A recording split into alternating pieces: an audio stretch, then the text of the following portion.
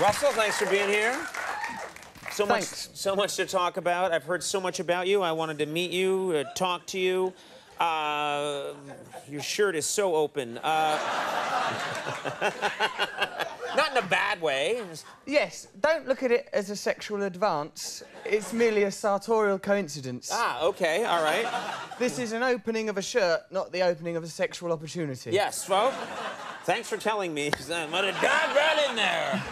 Uh, first of all, I got to ask you. I notice hair for obvious reasons. I got my own thing going on. Uh, your hair is well, quite unusual, and in all the photographs, it looks quite wild and sometimes insane. How do you get your hair to look like that? Well, I might ask you the same question, sir.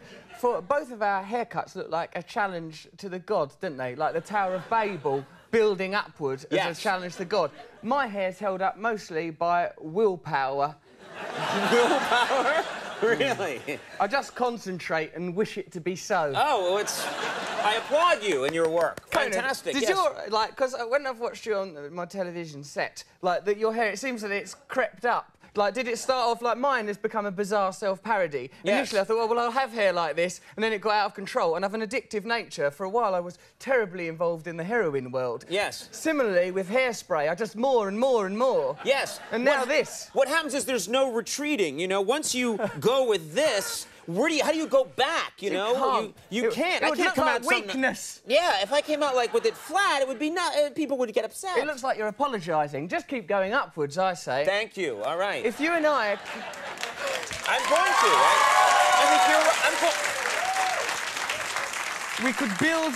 We could build an arc. We could build an arch of hair across Yes. the Atlantic between our two countries. yes. Uniting like that. This is a fantastic idea. Our hair touching in the mid-Atlantic. A glorious rainbow. Yes.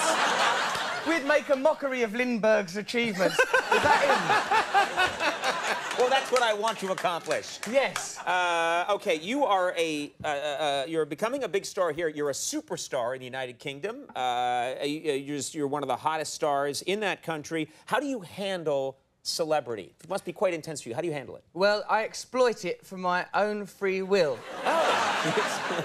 It's better than my previous occupation, was which was uh, being what is called in the United Kingdom being on the dole, welfare. Having, Yes. You've got hardly any money, very little options, lots of time, which tends to lead to excessive onanism, which is bad for the eyesight. Yes, yes, yes. I, I know, I know. I prefer celebrity to poverty very much, you know. given, given the options, having now had a sample of both, Right.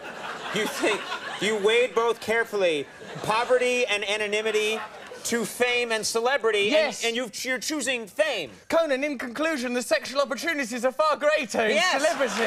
They are. There's barely any comparison.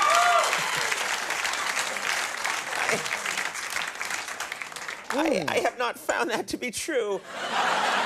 Have you made a marital commitment to a, a lady? Yes, but even before. Um, we'll talk about that later. Uh, why dwell on me? Your own uh, career is going so well. You performed for the Queen. Now, in your country, uh, that's just considered the highest honor. What was it like to perform for the Queen? It's a great deal of pressure, Conan, on accounts of the protocols. Before meeting Her Majesty the Queen, a flunky will meet you and say, when you meet Her Majesty the Queen, you will call her ma'am. You will call her ma'am. See, already I've forgotten. Ma- ma'am as in arm, not ma'am as in jam. You will bow from the head, not from the waist. Don't overbow. Don't curtsy. She won't think it's cute. You must be polite. But when you actually meet her, all them words are ringing in your ears. It's brought terrible pressure. And part of my mind is always against me. Look at this haircut. That part of my mind.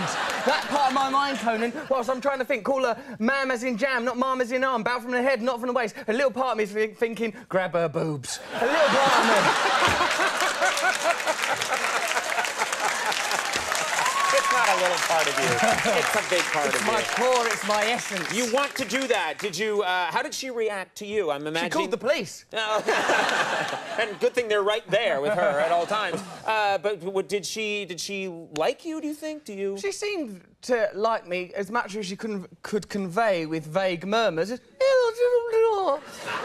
when people are very highly bred in my country, they don't like to move their faces. Oh, well done. Yes, yes, Like that. I think if they were to communicate more, all the sexual repression would ooze out. yes, yes. We'd be engulfed. then I would need our hair bridge to escape. the Queen would run across your hair onto my hair and end up in Baltimore. Yeah. I wouldn't wish that on Her Majesty. Now, um,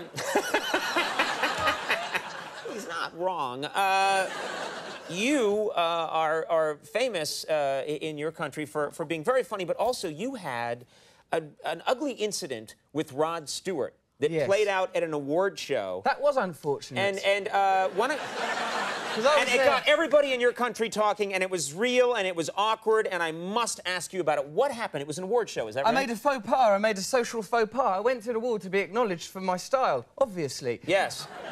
Once there, I met Rod Stewart, and, and he's always been a hero of mine, obviously. Mm-hmm. Yeah. And, uh, when I approached him and I said, "Oh, hello, Rod. It's a great pleasure to meet you." And he said, "Oh, you want to watch with the womanising, mate?" I thought that's a bit rich coming from him. What's next? Get your hair cut. Know what I Yeah. mean? It just seemed Right, right. inappropriate. For him to chastise you for womanizing, it's Rod Stewart, exactly. Right, you were Rod Stewart. You Yeah. have conducted yourself in a terribly sexy fashion. Okay, so. Perhaps George Bush will wish me to be less bellicose. Yes, well, please. Seems, seems inappropriate advice. So, like when I like when I got onto the stage, I mentioned that in passing to the assembled crowd that I'd been given advice that had seemed like glass houses. You know, Yeah, like, exactly. like Who is he to tell me? Precisely, Yes. Conan. This is what I felt inside of myself, and I communicated it verbally. Then, and this is where the mistake began, I, in passing, mentioned that I'd been dating his daughter. I said, "Oh, Rod gave me some advice earlier. You know, he said watch with the women and everything. That's a bit rich coming from him. Mind you, I did have a go on his daughter. Oh, my. Now, you, that- you said this in a. This is a a televised mistake. award show. Yes, a terrible mistake. Because also, we'd, there had been no sexual congress between his daughter and I. We'd merely been dating as if in Edwardian Britain. I'd held a parasol for her very briefly. Yeah. That's all I've done. And I don't think you can get pregnant through that. Well, there is a way. But anyway, so what? So, so what? So please, please. Not if you open it at the right time. Let's stop. Okay, so you said that, but then the best part is you made that mistake. Rod Stewart then gets up on stage to get an award, and he, what happened? Well, I was sat eating dinner at the award at the function, just enjoying eating the dinner. And while I was eating the dinner, thinking, oh, this is surreal. Justin Timberlake's over there, all those celebrities, Sacha Baron Cohen, all those famous people. I carry on eating my dinner. Rod Stewart's on the stage receiving his Lifetime Achievement Award. I already been acknowledged for my style, as you can see. Yes. Eating the food, eating the food. Are you eating taffy? What are you? What is that? It was ridiculous. I was spilling most of it. yes, Conan. yeah, I can tell. I can tell. At one point, I poked myself in the eye. It was very fortunate that my fork was imaginary, so I could have lost a digit. I continued the eating. Yes. I heard from the stage in the unmistakable voice of Rod Stewart, Russell Brand, stand up. I thought, that can't have really happened. I'll just carry on with my imaginary meal. it happened again. It happened again. This time more warlike. Yes. More aggressive. Yeah. He goes, stand up. I thought, oh no, this shouldn't be happening in my life. Then so I had to stand up, because that's not fair, is it? That sort of thing happens in nightmares. Then it happened in actual reality. It spilled into reality. Exactly, Conan. yes, yes. We've got boundaries. I thought we had a deal with the world of dreams. We keep away from them, they stay away from us. I stood there and he, and he started to berate me. You stand here now and tell me you didn't have it off with your daughter. So I'm very sorry, Rod Stewart. I'm very sorry I didn't have sex with your daughter. I apologise for inferring that. I Right, right. apologise. It's very bad manners. And I thought this is a little bit out of order. You know, here am I there to receive an award for being a very stylish man, only to be berated by a man who, in his prime, wore leopard skin tights on a daily basis.